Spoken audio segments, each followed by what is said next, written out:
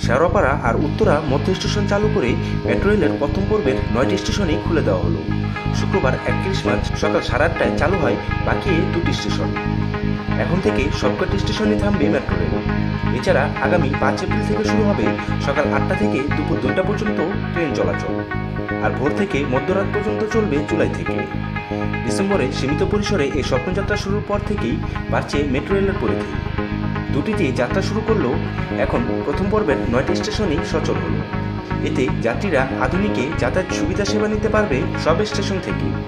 গত বছরের আঠাশ ডিসেম্বর প্রধানমন্ত্রী শেখ হাসিনা দেশের যোগাযোগের ইতিহাসের একটি মাইলফলক স্থাপন করে বাংলাদেশের প্রথম এলিভেটেড মেট্রো রেল উদ্বোধন করেন।